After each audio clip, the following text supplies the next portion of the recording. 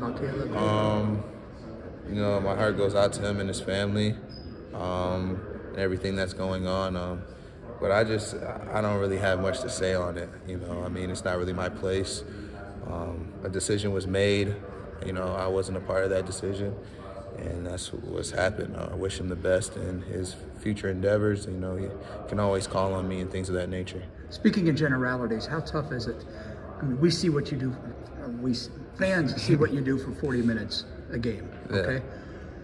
What people sometimes don't see is what after those 40 minutes, before those 40 minutes. How tough is it to be a, a, a student athlete at a high major university? It's extremely tough. Um, there's really no time in the day, and if you're not 100% um, focused on the task at hand as far as the season and you know making sure your body's okay, um, you can get swept under the rug and you know just go within the wind. Like you have to be locked in throughout this long season. I would probably say this is the hardest season. I mean, it's the longest as far as college sports, in my opinion.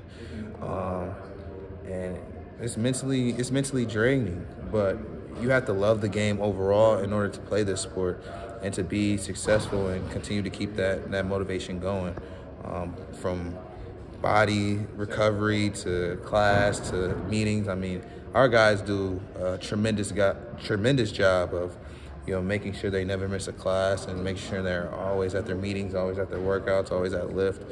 Um, it's just putting your energy and your focus um, to what's important to you. And I think everybody in this locker room truly believes that, you know, Cyclone basketball is truly important to them.